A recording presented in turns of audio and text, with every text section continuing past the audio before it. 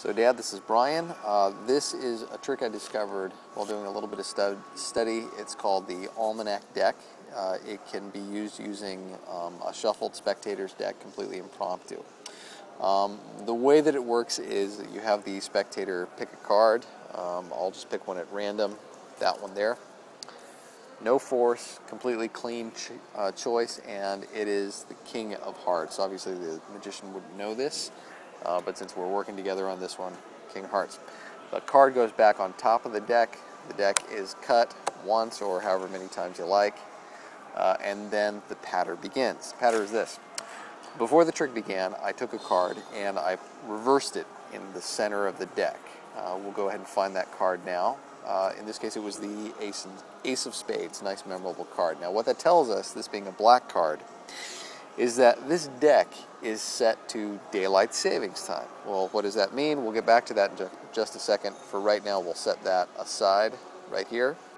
Uh, but to remember that this is our daylight savings card.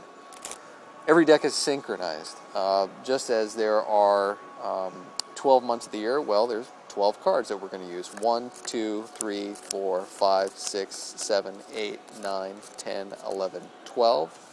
12 cards, which then go back on top of the deck. Just as there are 12 months in the year, there are 52 weeks in the year. Coincidentally, there are also 52 cards in a deck. 52. 1, 2, 3, 4, 5. 1, 2. Good news is you don't have to count through 52 cards, just 5 and then 2. The 5 goes on top of the 2 and then back to the top of the deck. How many days are there in a year? 365. So it's 1, 2, 3, 100, and 1, 2, 3, 4, 5, 65. 1, 2, 3, 4, 5. 3 on top of 6, 6 on top of 5, and all on top of the deck.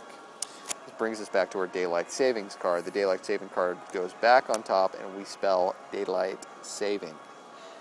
D A Y L I G H T S A V I N G. What was the card chosen? Of course, it was the King of Hearts, completely self working.